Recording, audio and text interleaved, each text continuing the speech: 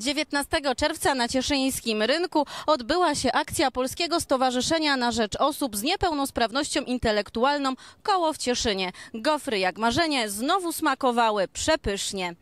Dzień dobry, jestem Emilia Klimosz. Zapraszamy na pyszne gofry. Takich gofrów nie ma nigdzie indziej. Zapraszamy na rynek Cieszyn. No po takiej reklamie to trzeba przyjść tutaj na rynek. Pierwsza akcja w tym roku z goframi. Tak, pierwszy raz jesteśmy w tym roku. E, mamy nadzieję, że będzie więcej chętnych. E, no, oczywiście pogoda jest jaka jest, ale myślę, że, e, że będą smakować. Zapraszamy, zapraszamy. Mamy pyszne gofry i na słodko tym razem, i na słono.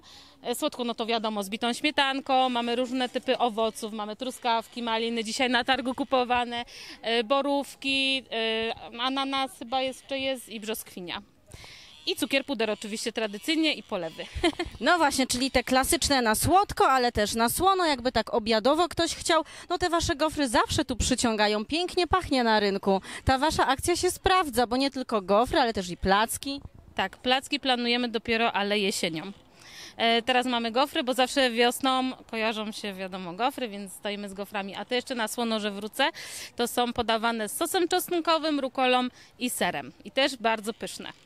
No właśnie, e, cała placówka się zawsze angażuje w te akcje, tak też jest i tym razem? Tak, oczywiście mamy super pracowników, jesteśmy zgraną ekipą i zawsze dzielnie stajemy na wysokości zadania i staramy się z całych sił.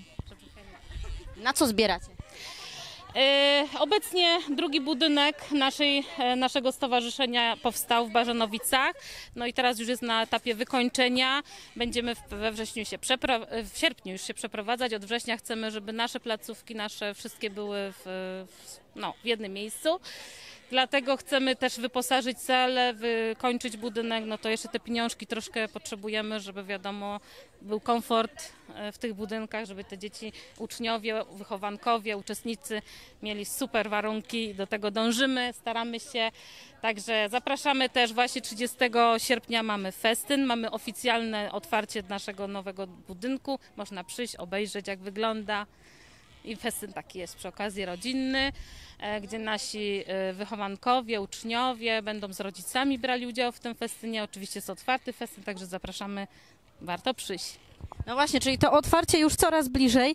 E, no właśnie, wychowankowie zawsze mocno zaangażowani, jak już tutaj nawiązałam. Oni się angażują w każdą tą akcję, pewnie i w ten festyn, i w to otwarcie też są całym sercem zaangażowani. Tacy bardzo aktywni, mam takie wrażenie.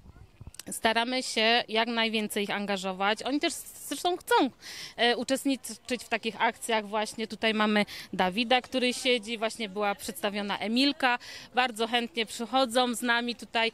No dobra, ja jeszcze zawsze pytam, ile tego ciasta macie tak plus minus przygotowanego, e, owoców, no to dużo, już wiem, że tak, prosto z targu. Tak, owoców bardzo dużo, bo owoców jeszcze jest taka pora akurat pogody właśnie fajna, wiosenna, letnia już można powiedzieć, te owoce jednak schodzą jak najwięcej, więc mamy dużo.